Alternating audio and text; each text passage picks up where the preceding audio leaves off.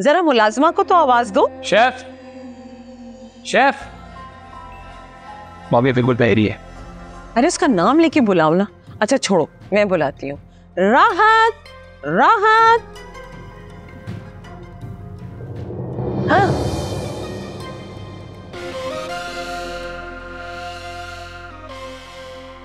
तुम यहाँ?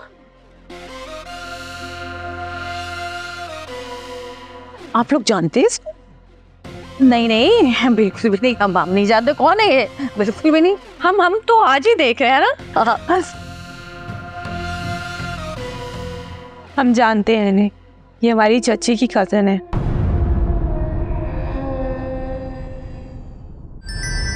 क्योंकि मैं ग्रीन हूँ।